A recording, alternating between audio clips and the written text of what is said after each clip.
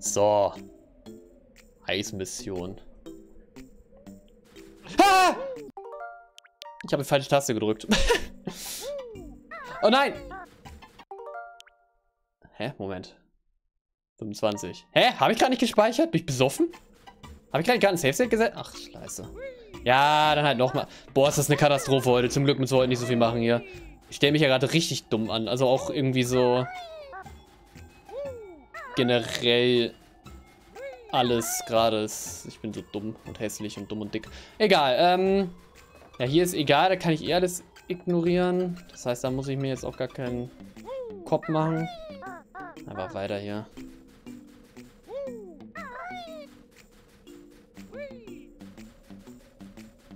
Dig ist eine Lüge. Das stimmt vermutlich. Ich gehe jetzt trotzdem mal hier rein. Hier war nichts, ne? Aber ein paar Federn, die kann ich vielleicht gebrauchen.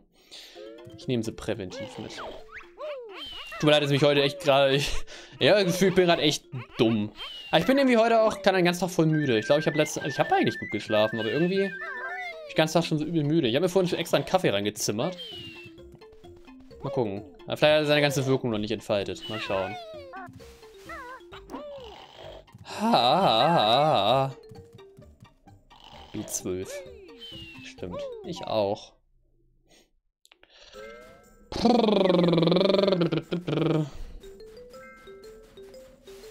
Leon im Chat lesen.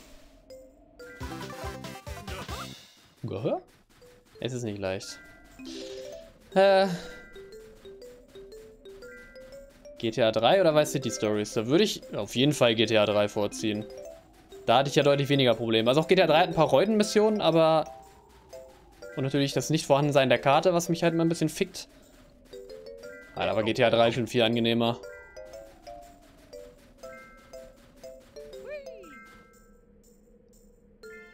Er hat sogar gelesen. Was denn? Was habe ich denn jetzt wieder? War er auf dem Dach des Hauses? Nee, nee, da wollte ich gleich hin. Und jetzt nicht an Banjo auch dicken Bären zu nennen. Ne, ne, ne, ne. Dach des Hauses oder Vice City Stories? Äh, Dach des Hauses. Das Gefühl, ich beantworte die Fragen zu ernst.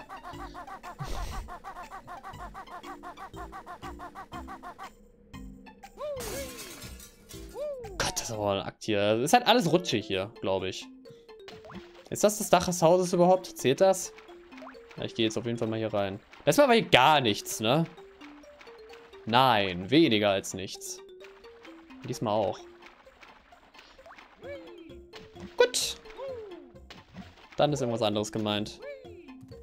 Bitte speicher vom Dach des Hauses.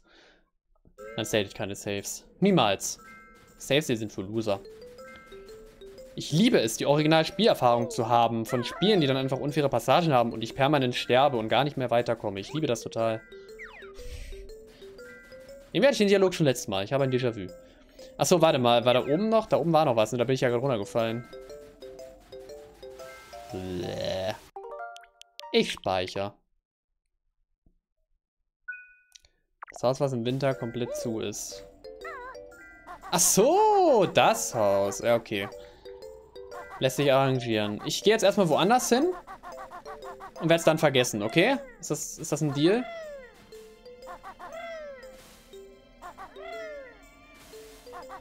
Kingdom Deal. Okay, guter Deal. I receive äh, gar nichts und äh, keine 100%. You receive nothing. Schau mir zu, wie toll ich fliegen kann. Ich bin jetzt ein ausgewachsener Adler.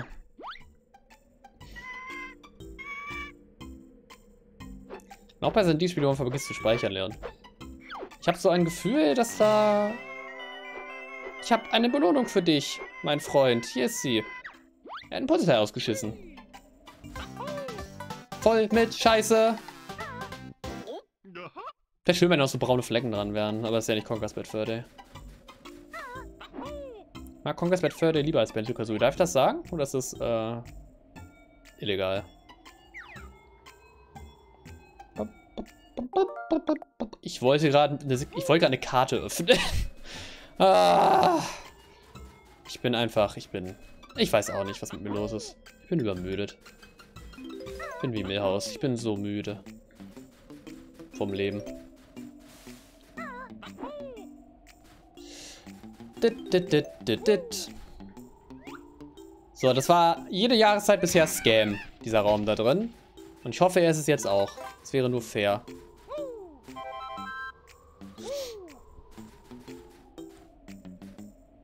Ich kenne auch so ein Spiel. Tales of Berseria. Oh.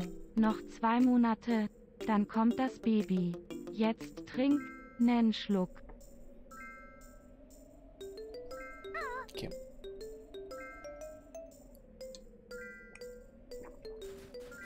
Und noch ein Schluck.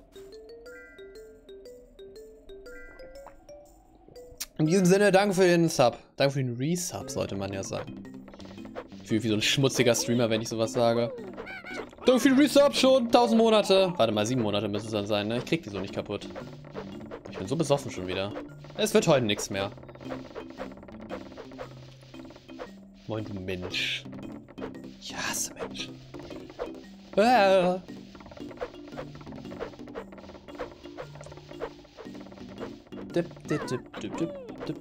Ich glaube, das hier ist auch Scam. Ich speichere lieber. Ich habe Angst vor allem. Dusch halt einfach. Da, Moment, Moment, Moment, Moment, Moment. Da habe ich doch gerade was gesehen, oder? War es wieder nur so ein Leben? Moment. Momentchen mal. Da war gar nichts. Hä, was habe ich gerade... Ich, habe ich da nicht irgendwas gesehen?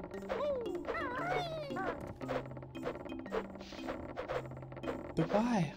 Nö, Scam. Geilo! Eine richtige Saufziege. Saufziege ist auch ein schönes Wort. Schluckspecht. Ja, da verpiss ich mich halt. Fucking Banjo-Kazooie.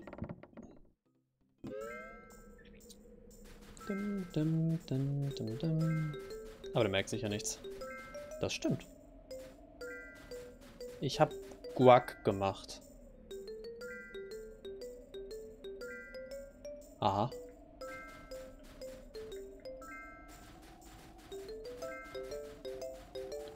Quark gemacht. Quark. Das ist doch Quark. Warum werden Käse und Milchprodukte... Quark ist eigentlich kein... Ist Quark Käse? Quäse! Äh, warum werden Milchprodukte eigentlich immer als was negativ... Also... Hm. Sorry, ich verstehe es vielleicht, aber so... Sagt, das ist doch Käse. Das ist doch Quark. Das ist immer so negativ. Verstehe ich nicht so ganz. Ja, Milch ist Gift und so, aber äh, als diese Wörter erfunden wurden, da wusste es noch niemand. So, ab aufs Hausdach. Ich glaube, ich bin noch drauf. Was? Ich habe noch nie so emotional geschrien. Guck mal, ich hab's geschafft. Hey. Mein Stolz in diesem Spiel echt verloren. Da kann ich schon nachvollziehen. Die BTTV-Emotes gehen bei Streamlabs wieder nicht. Ah, geil. Guacamole. Ist doch Wäse. Nutzt bitte den Huckepacklauf. Wegen der Ausbreitung der milchgebenden Kühe. Ja, das war auch mein Gedanke, aber... Das weiß ja niemand. Damals. Sprache. Ach, was verlaber ich? Tschüss, ich gehe nach Hause.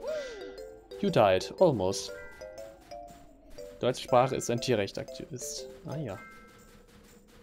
Milchgebende Tiere. Es gibt auch Ziegenkäse. Bah, Ziegenkäse ist so hammer eklig. Fick mich nicht. Okay, das war Huckepacklauf. Huckepacklauf, da rutscht man halt nicht so rum, ne? Das ergibt schon irgendwie Sinn. Hier war das Problem aber gerade nicht das Rutschen, sondern die Perspektive, die ich mir aber selber hätte einstellen können, wo ich aber zu faul für war. Das ist okay. Ich blame das Spiel nicht. Habe trotzdem gestatet, weil ich ein Loser bin.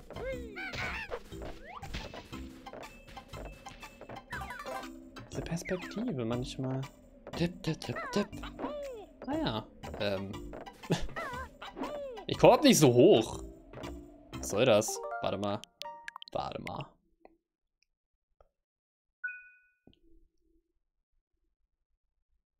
Wann hast du mal alle Noten? Noten. Das frage ich mich halt auch. Ding ist geil, ich würde den. Nutten wo? Schafskäse ist auch mega. Das stimmt. Zinkkäse habe ich noch nie gegessen, glaube ich. Warte. Achso. Boah, ich bin so dumm heute. Und das hier so, nur heute? Mann. Ich war. Ich, soll, ich, ich, ich, soll, ich sollte heute aufhören. Ich, ich sollte nicht mehr streamen. So in general. Ich auf. Meine Twitch-Karriere an den Nagel. Heute, oh wow. Heute. Einfach predicted worden. Noch sieben Huren. Hm. Aber nice, dass du nicht vom Dach abgerutscht bist, ja? Das kriege ich hin. Cringe, dass deine Kleinkinder gucken lässt. Ich freue mich auf Kommentare. Das ist nicht jugendfreundlich. Ach, mir doch fick egal, ihr Wichser. Ups. Ich mag es, wie er das kaputt klopft. So. Jetzt habe ich ja eigentlich hier auf dem Weg nach oben schon mal alles mir angeguckt. Mumbo besuchen. Das ist auf jeden Fall auch noch eine Option. Das ist absolut richtig. Ich kann noch tauchen. Ich kann fliegen. Ich könnte theoretisch bis ganz nach oben fliegen. Ich kann mal gucken, ob da diesmal irgendwas ist. Oder halt da, wo mal das Puzzleteil war. Ich gehe von einem Nein aus. Aber man weiß ja nie.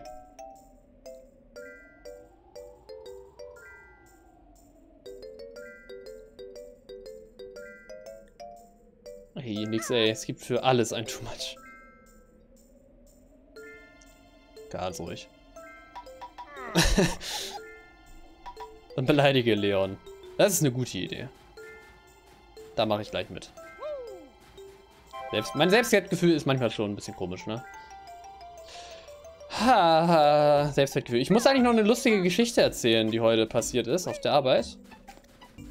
Äh, wie lange... Ich nehme den Damage in Kauf. Er ist nicht so doll. Das war einer. Ich wollte eh nach unten. okay. Mann. Inkompetenz.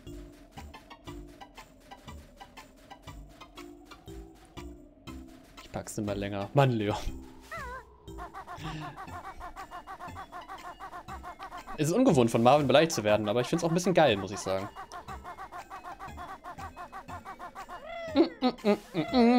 Vor allem bist du richtig beleidigend. Wusch.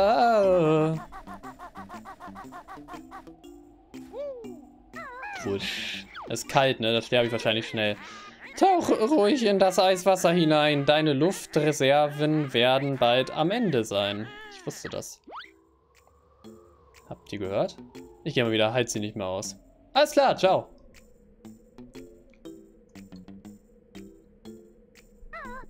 kriegen Leon auch nur Spiele, um ihn beleidigen zu können. Das ist eigentlich nur fairer Tausch, weil ich beleidige ja die Spiele dann immer. Hier gibt es doch irgendwo den Eingang jetzt unter Wasser, oder nicht? Oder war der da? Oh Gott, kann ich hier ganz lang tauchen? Bitte nicht. Frau Dr. Gay. War das hier einfach am Ende? Scheiße, Mann. Wobei es könnte sein, dass es vielleicht mit der Verwandlung... Vielleicht muss ich einmal mit der Verwandlung da rein. Oh, ich weiß es nicht. Hilfe, Hilfe, ich will nicht mehr.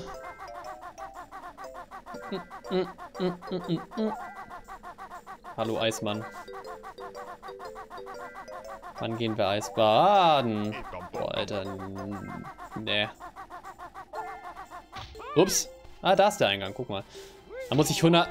Sag mal! Maschallah! Bist du beschallert?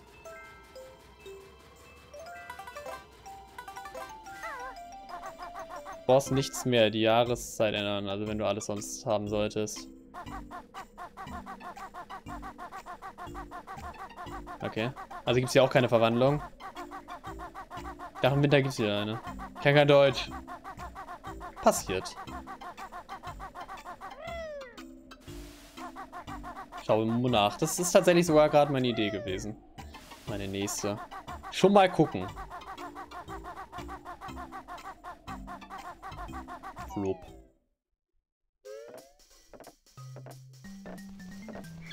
Gibt ihn nicht mehr. Mumbo ist im Urlaub. Kommt im Frühling wieder. Äh, gut, das wäre das Thema auch durch. Warum gibt es hier so viele fucking Mumbo-Schädel? Frage ich mich so. Mumbo gleich dead. Oh oh. Rip Mumbo. Never forgot. Äh, es gibt das Fräsen auch schon heute. Damn, son. Nicht mal Nutten. Naja, er kriegt bald seine Nutte. Ich kenne die Endsequenz. Hm.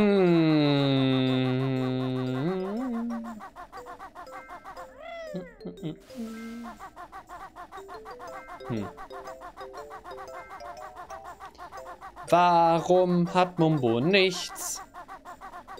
Der dumme Sack, ich hasse ihn so sehr. Ich möchte nichts mehr mit ihm zu tun haben. Ja, hier ist alles eh scheiße. Mann. Ach, hier war ich jetzt noch gar nicht neu. Ja, guck mal. Dann ist doch jetzt schon mal eine gute Sache hier. Äh, drei Noten fehlen dann noch. Gott! Wenn diese halbe Panikattacke, die ich kriege, wenn ich irgendwo abrutsche leicht. Achso, ich wollte noch die Geschichte erzählen auf der Arbeit, ne? Hier wurde Polizei angedroht. Das ist die Kurzform. äh... Wir müssen die Game-Over-Sequenz noch mit P... Stimmt! Stimmt! Ich dachte, jetzt fehlt nur noch eine Note. Note. What? Das heißt, ich habe welche verpasst? Och nee. Bitte nicht. Jetzt erzähl los. Ähm, also, ich hatte heute einen Spezialauftrag auf, der Arbeit. Ich sollte Pappmüll wegbringen. Wir haben zwar so zwei fette Müll, also Pappcontainer für uns, aber wir haben scheinbar so viel Pappmüll produziert oder aber jemand hat mal wieder vergessen, den Pappmüll rauszustellen, als abgeholt wurde. Ich weiß es nicht genau. Jetzt hatte ich den Auftrag, Pappmüll wegzubringen in ein, zu einem Edeka-Laden ganz weit im Norden, die so eine fette Papppresse haben.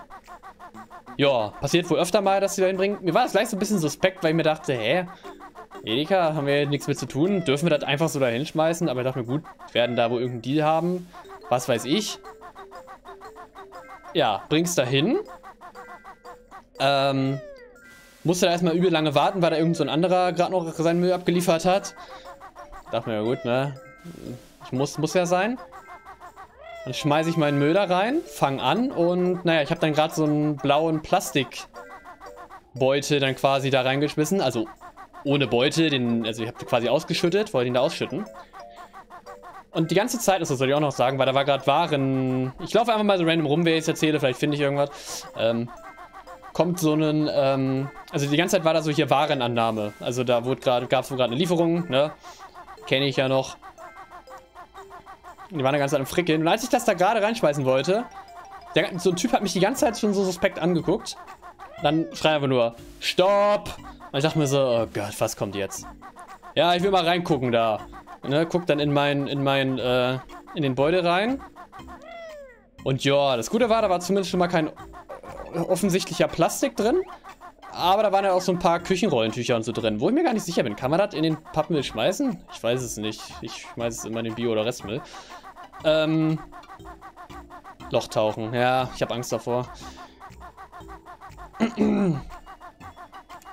naja, zumindest habe ich dann, äh, ja, hat er das dann, dann reingeguckt, hat sich halt lauter als beschwert. Sag mal, glaubt ihr, das gehört in den Pappmüll hier? Die Küchenrolle benutzte, bla bla bla. Benutzte Küchenrolle nicht in Papier, okay. Ich meine, ich tue es sowieso nicht, aber naja, Mülltrennung im Laden ist manchmal eine schwierige Geschichte. Hat er sich halt lauter als aufgeregt und hat dann wirklich mich angeschissen, so basically, ne? Und so, ja, ja, was hält euch eigentlich ein? Und dann so, ja, ich spreche hiermit offiziell ein Verbot aus Ihr dürft hier nicht mehr euren Pappmüll abliefern. Ähm, ihr kauft hier nie was bei uns im Laden. Äh, das ist ja so, als wenn ich zu euch kommen würde oder zu dir nach Hause und den Müll bei dir abliefern würde. Wie fändest du das? Hm? Ich spreche mit offiziellem Verbot aus. Und wenn ich euch hier noch einmal erwische, dann rufe ich die Polizei. ich dachte mir so...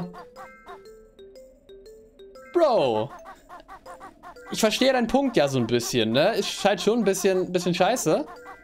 Ich bin aber halt auch nur die ausführende Kraft hier. Mir wurde gesagt, ich soll das machen und ich mach's halt einfach. und, keine Ahnung, kack halt nicht mich an, sondern kack den Chef an. Ruf bei uns im Laden an oder so. Ich bin nur ein fucking Fahrer. Und kack den nicht bei mir aus. So. Ich wünschte, ich hätte in der Situation auch so reagiert und das irgendwie sagen können, aber natürlich war ich in der Situation wieder so, hm, kommen wir natürlich nicht wieder wehren. Also ich hätte das jetzt nicht, weißt du, ich habe mir halt gedacht, was ein Wichser. da dachte mir so, ja, ja, okay, okay, bla bla, bin einfach weggefahren. Aber mein Gott, ey. Das ist mal wieder so dieses, dieses, ne, ich denke mal, das war der Marktleiter oder so. Meine Theorie bestätigt, Marktleiter in Einzel, im Einzelhandel sind immer Arschlöcher. Es gibt, es gibt keine netten Leute. also, nette Leute im Einzelhandel, ja. Aber es gibt keine in Führungspositionen. Es gibt sie einfach nicht. Das ist wahrscheinlich der Laden selbst, der sie komplett kaputt macht. Ich meine, ich kann es verstehen, es ist halt ein Kackjob. Aber lasst euren Frust nicht an anderen aus. Meine Güte. So, keine Persona-Erweckung bei Leon, ne. Das war die Persona 3-Erweckung in meinem Fall. Ich habe mir den Kopf geschossen. Naja, ähm... Ja, keine Ahnung, war dann halt weird. Ich habe mit meinem Chef, der ist dazu... Mein Chef ist zum Glück recht entspannt. Er hat dann auch gesagt, ja, hm, hm, schade. Ah, mein Gott, ey. So. Unangenehme Situation. Ich hätte bestimmt geweint. Ja, ich nicht. Früher hat mich das mehr mitgenommen. In der Situation habe ich gedacht, ja, äh, laber mich nicht voll. Wie gesagt, ich verstehe ja irgendwo seinen Punkt. Mir war das ja auch so ein bisschen suspekt und so dachte mir so, naja, ist ja eigentlich schon irgendwie scheiße, in deren Edeka jetzt mich unseren Müll da abzuliefern.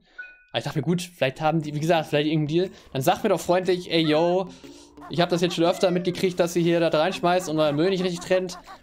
Lass das mal bitte. Ich möchte das nicht mehr. Das hätte er ja sagen können. Er hätte auch gesagt, ja, okay, verstehe ich. Aber kack mich halt nicht so an. So. Punkt. An dieser Stelle beende ich die Folge. Oh Gott. Und äh, beim nächsten Mal tauchen wir. Ich habe Angst. Äh.